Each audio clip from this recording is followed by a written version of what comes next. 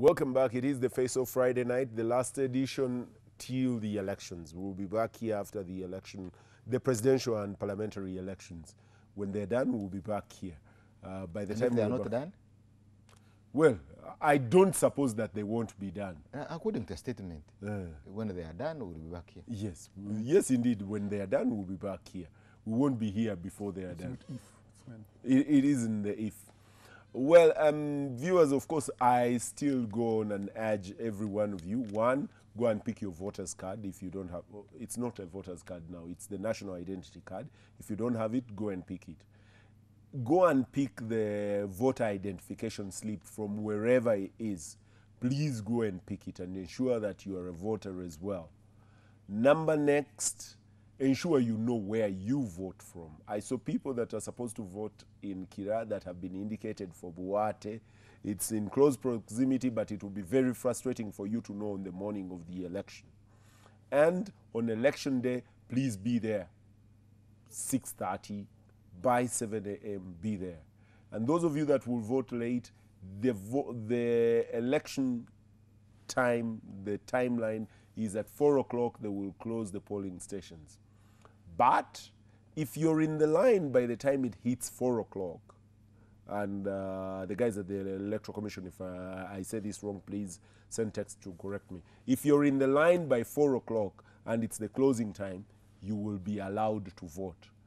But those that are coming in won't be allowed to join the line.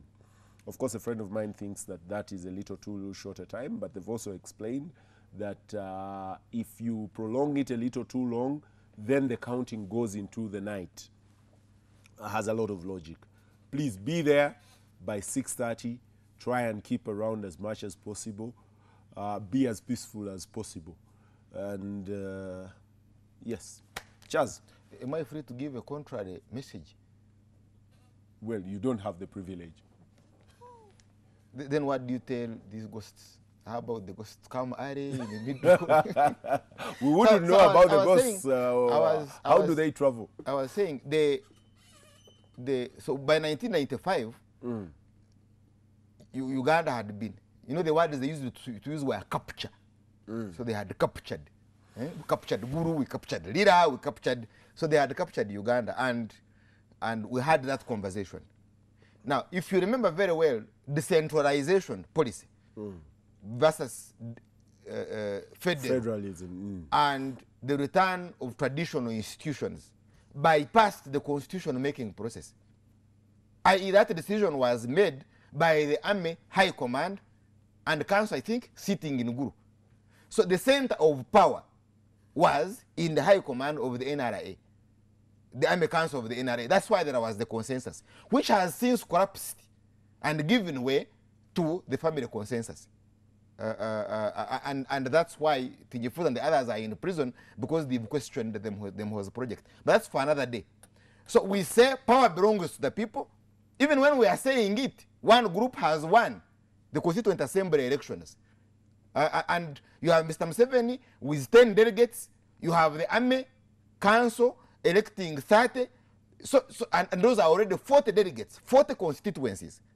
And then you have Ugandans stopped from organizing. Political parties had been stopped, were stopped from organizing. So Ugandans were not organized. Were not allowed to organize at a national level. You would only come as an individual to I face want to see where this is going. Oh, yes. So that's why we now make a declaration. Unoccupied people who are not even organized, who are even not strong, who don't have the power. That power belongs to us. But it shall be exercised eh, through institutions of the state, the captured the state. And one of those institutions is the Electoral Commission and we want to go into its composition, uh, uh, this the process, because the process is also usurped. Parliament that is supposed to to to audit to, to audit the, the presidency is usurped. Is the the the, the, is the it's the caucus. We have had time to discuss that, and therefore, all in all, power all power with the electoral commission is vested in the president. But even when you put a commission, you have Mr. Rwakojo, who is part of the family consensus.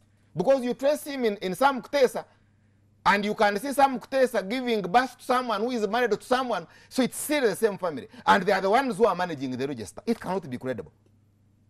It cannot be credible. And, and, and that is why some ghosts pop up like popcorns because they are not very disciplined. Uh, Sam Rwakojo is only one of so many at the Electoral Commission. Y- yeah, yes, I've, I've, I've contradicted me. Because the, the source is credible. That there are a special team up the district. By the way, they were even going to amend this law to provide for another office around the district returning office. So you have officers, you have people who have been trained on how to manipulate data.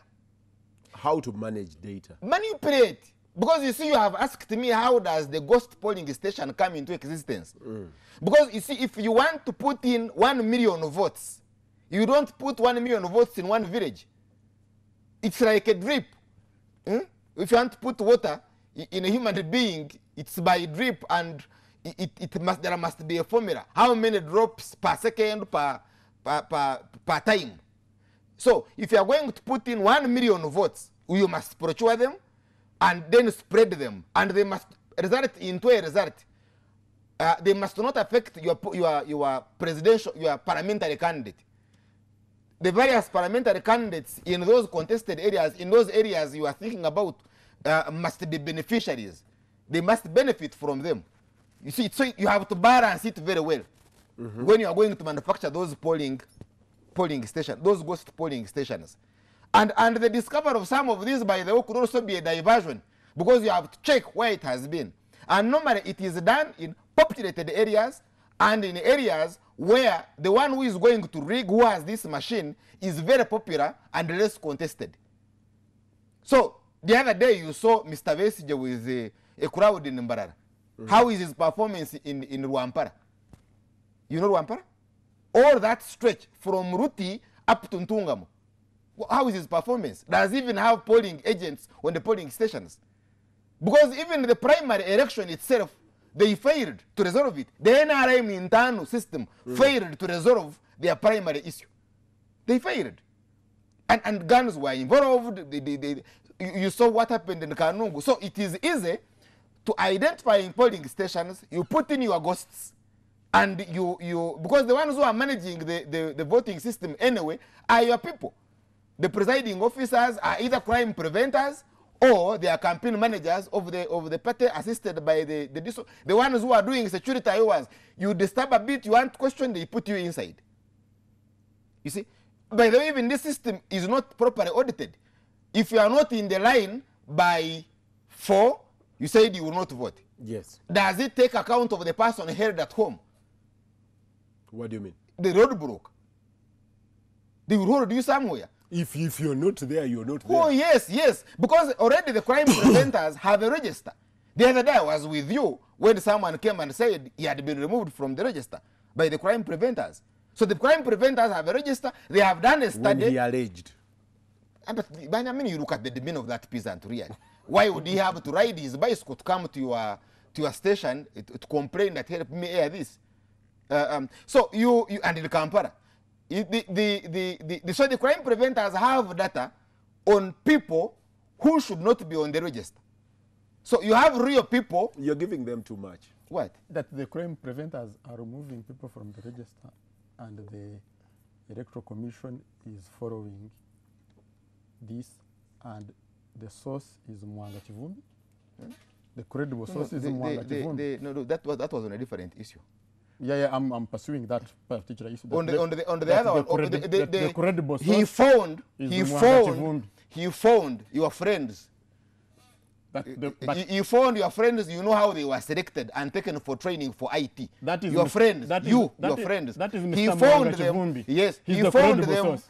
I mean, you know, he's, he's, he's, he's, he's, fine, a minister. fine. he's, is He's if he's the credible source, then I rest my case. Why? Because Chivumbi- Chivumbi. Co- complete your point. Complete source. your point. He's, a minister of internal because affairs. you know, for me, Of it the- of the crime preventers. Oh, yes. He's and he would be he would say No, anything this- good uh, the crime uh, about people whom he wants them to remove much. from power. Boss, this whistleblower is he NRM? The whistleblower who has gotten ghosts, ghosts is he NRM? Does he necessarily need to be NRM? But because the information he gave was credible, That it has been acted on. I think he's the honorable.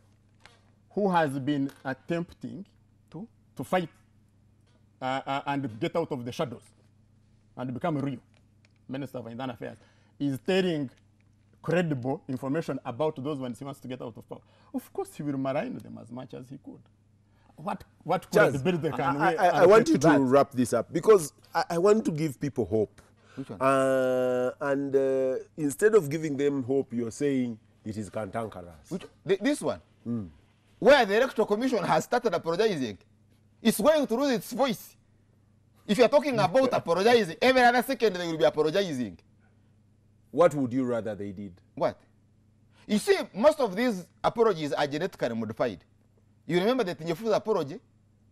I don't want to talk about the other guys uh, who are on trial, who are also made an apology. Apologies, we, we need to see, we need to intercept, we, we need to check the recording of the intercepted call that, uh, that ordered Chigun to apologize.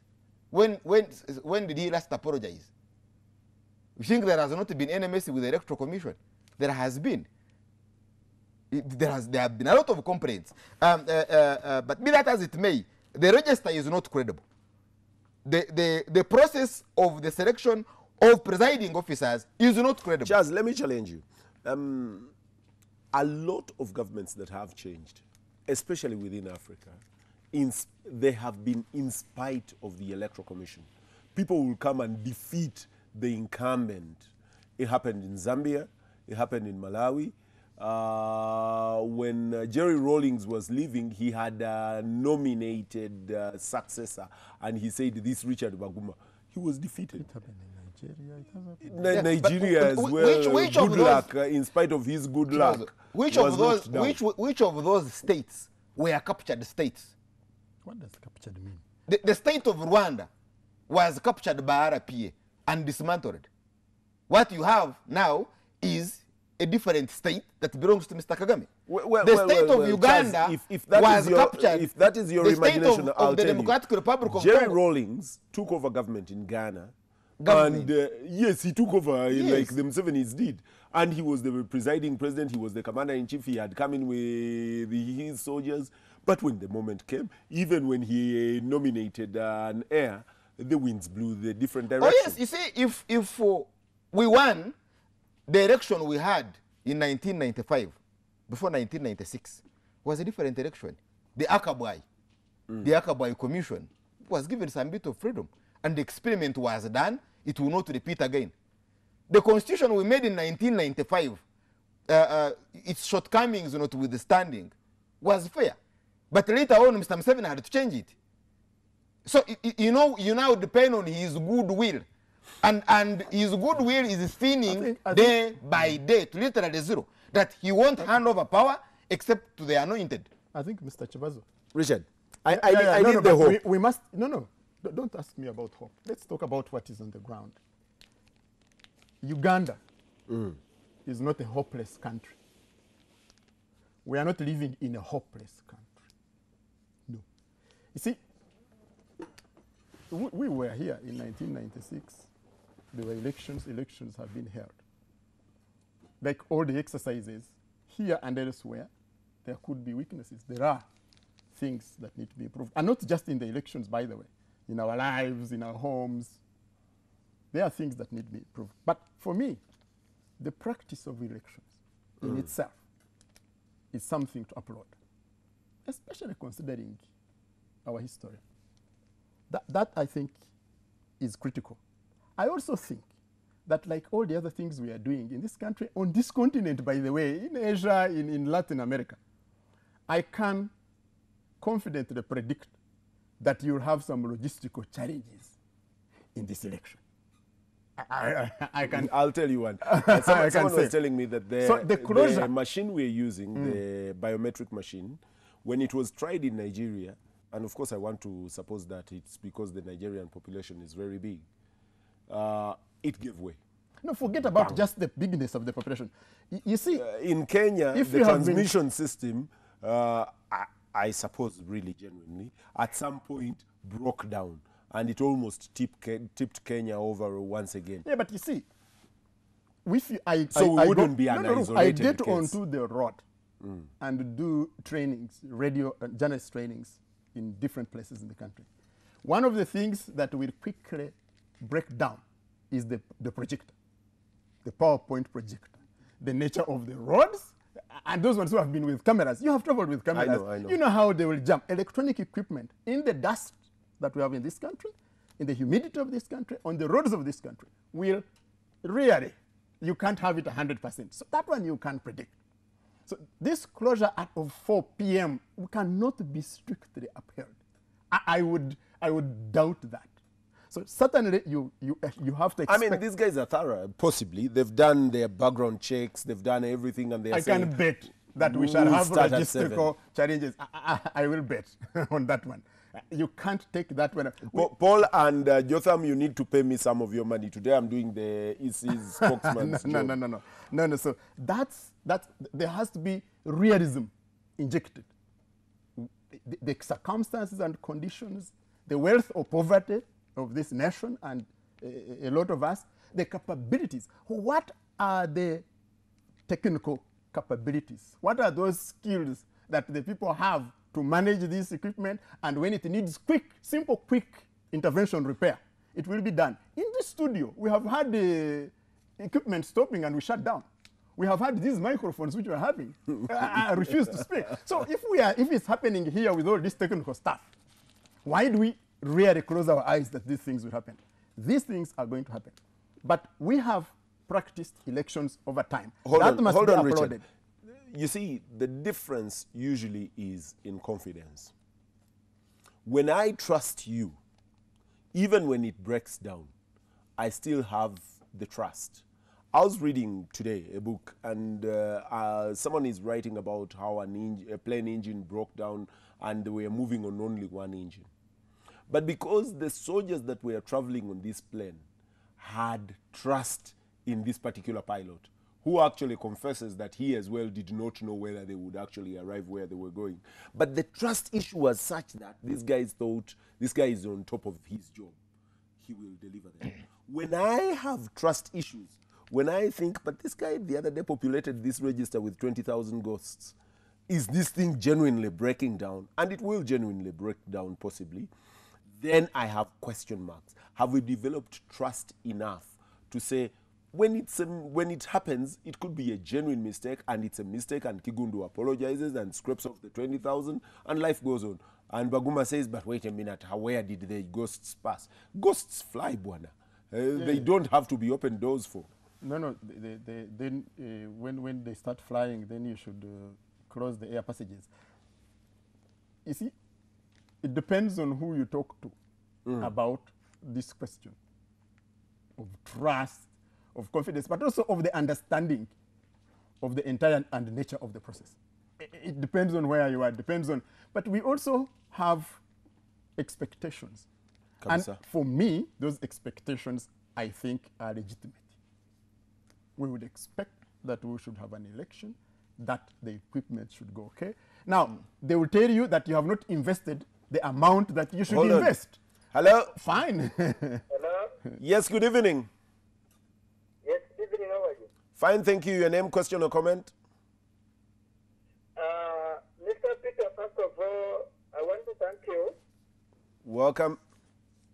for the good job you've done. Uh, It's now, I can tell the school is six days left now. And uh, I- I'm Raban and I'm calling from Bukuya. This is district. Yes, go- Whether you know this side. Yes, I do. Go right ahead.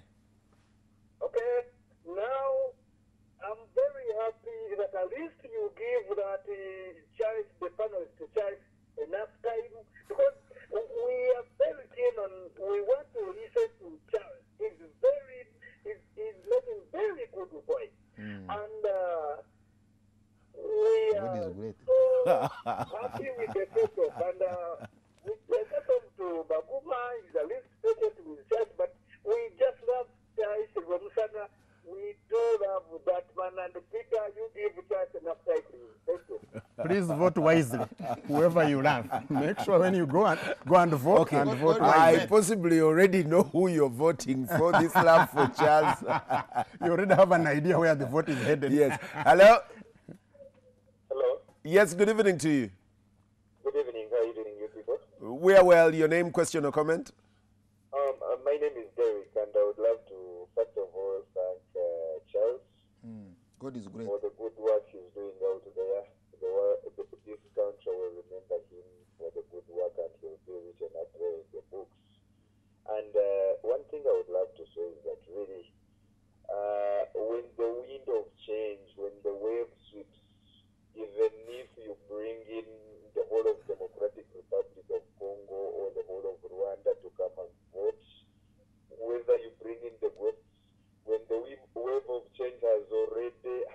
already swept, nothing can stop it. So I, I really think Ugandans we should remain calm. We should uh, turn up and vote. I call upon every Ugandan to turn up and vote and uh, Very important. and respect whatever result will come up. If there's any insurgency that is going to, to come up, it will be brought none by other than the state, I think.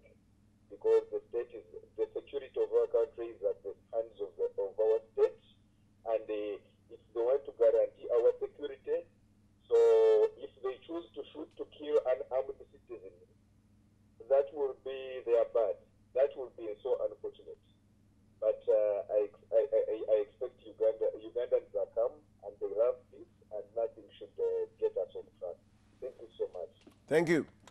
Um, Chaz, Yeah, Oh. you- you, you see, Mr. Baguma Richard s- says Uganda is hopeful. Hmm. Yes, but I- would love to to see how he, he picks those colors. Because Mr. Museveni is on record to have said this election is going to be rigged. They are going to rig him out. he's worried. Yes, he's, he's on record. Bagala kunzibera kalulu. And for him, but and again, he also says, those who want to, to disturb the peace, I will smash them. So he is, he is dis- despondent on the outcome of the vote. He thinks it won't be free and fair, but he is threatening violence. Now, the, the, the, and, and you see how he has even reacted to dissent. Because all that Tinyefuza has been doing is peaceful dissent. He's not thrown a stone. Not that he does. Yes? Well, if he's uh, still a soldier, he's disobeyed uh, their code. Actually, all the candidates are saying the same that they are going to be rigged, and if they are Uh-huh. rigged, they will Now, be the- defiant. uh, so it's not now- just a Museveni talk. No, I'm, I was coming. it's I for all the candidates. I was, I was coming. Uh, uh, uh, good that you concede well, very uh, fast. Ambassador Bidigwa actually explained to me that the, the, there is no difference between resistance and defiance. Uh-huh. Now, the speaking second the one- same language. The Yeah, second one is Mr. Besigye. The election can only be free and fair when he has won. Short of that, no leaving the, the, the pitch. Chigwalero. Uh-huh. Uh, and and the third one is Mr. Amama Mbabazi. He has brought in a new, a, a very interesting angle. Foreigners are coming to vote. How many? How many? By the way, do we even have capacity in this region to transport foreigners that would tilt the result? From which countries? He uh, said Rwanda, Tanzania. How many? and how Congo. many would come from? How sure are you that those who would come from Rwanda would not come to vote out Mr. Museveni, who, who manufactured RPA and, and it destabilized them and occupied them and yeah, yeah. So you you you because it's not easy. It is not easy to. But you see, But, but you see, Charles, for me, So that is have- actually an important angle. That a former prime minister, the former secretary general of the NRM, the guy that was uh, a cog or a linchpin in this, is saying that actually we have voters that come from across the border. He's doing a confession. You know, this is Lent. Uh, It is the season when people do confessions, right? This is penance. He's saying, Bwana, we've done this before, and I'm sure they come from this. uh, yeah, but it's, it's, this is a password.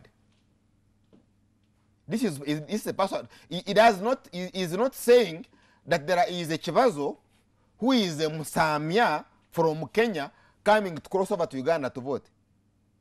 He's simply giving you a password.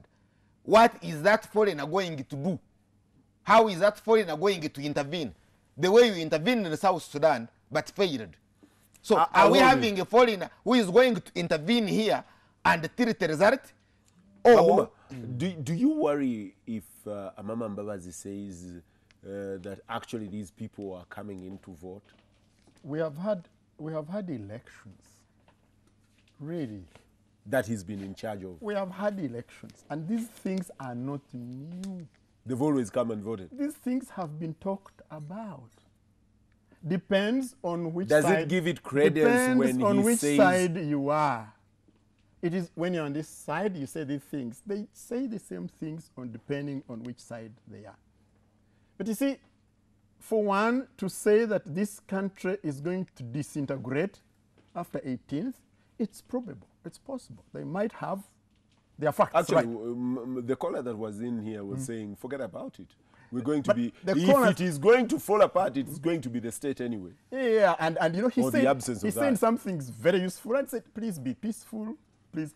This election is going to end, my own view and estimation, and we are going to be here before these cameras. You see, you, you, you forget, forget about peace Why? because we are already in violence. If you have got all these guns on you, I'll take a break and then return. So you see, this country is going to be if- here, is going to be peaceful, and we shall be going about our business. if Really. you have got, if you have got all these we shall guns, be driving the here. product-